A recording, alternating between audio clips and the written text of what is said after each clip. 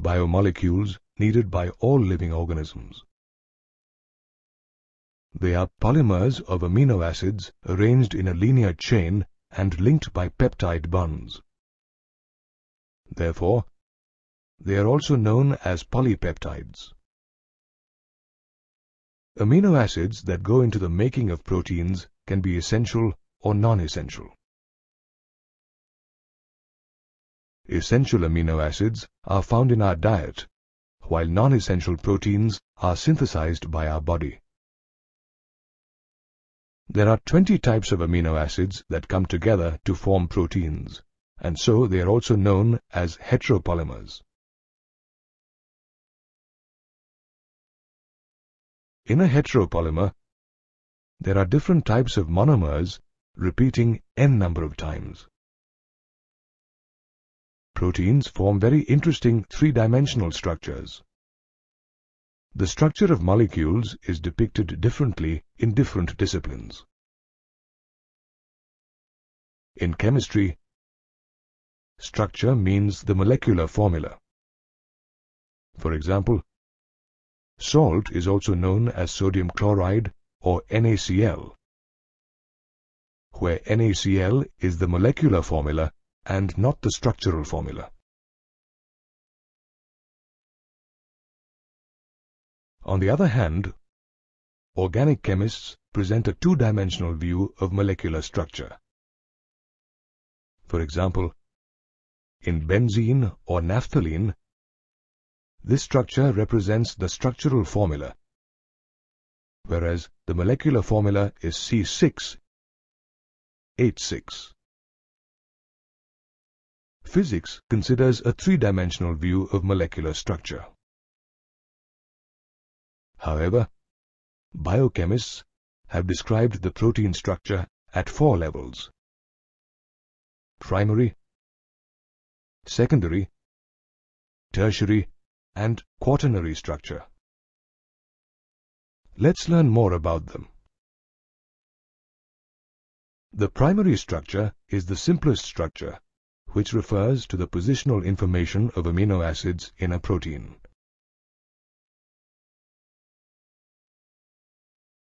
Hypothetically, a protein is a thread formed by amino acids where the left end is represented by the first amino acid or the N-terminal amino acid and the right end is represented by the last amino acid or the C-terminal amino acid. The protein thread is represented as a horizontal straight line so that the position of the amino acids can be determined. However, in nature, proteins are not completely straight, but are folded in the form of a helix, somewhat like a revolving staircase. In the secondary structure, amino acid links get longer, and due to the heaviness of the molecule, it tends to bend.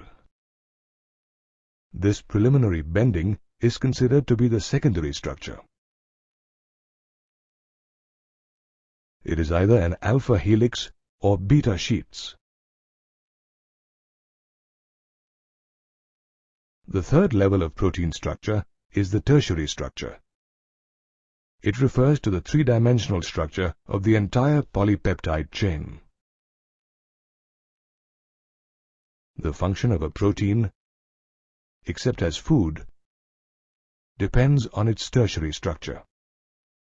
If this is disrupted, the protein is said to be denatured and it loses its activity. The fourth level of protein structure is the quaternary structure. This structure is formed by several protein molecules or polypeptides, also known as protein subunits. These subunits are arranged as a linear string of spheres arranged one upon each other in the form of a cube or plate. For example, adult hemoglobin consists of four subunits, two of which are identical to each other. Therefore, two alpha-type subunits and two beta-type subunits collectively form human hemoglobin.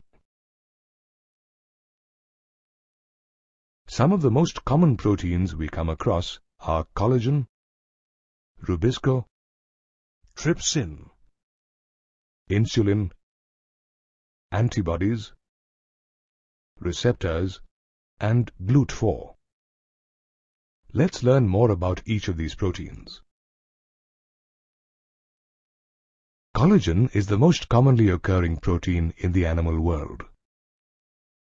Collagen fiber is generally found in connective tissues and acts as an intercellular ground substance in the space between the cells.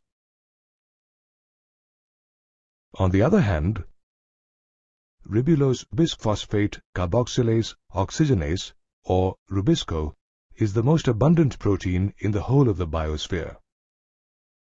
It acts as a catalyst during the process of carbon fixation. Trypsin acts as an enzyme and insulin acts as a hormone. Another protein called antibody helps fight infections. Receptor, another protein, helps in sensory reception, while glucose transporter 4 or GLUT4 helps in transporting glucose to the cells. In this manner, various proteins play a vital role for every living organism. The structure of these proteins is crucial in determining their functions.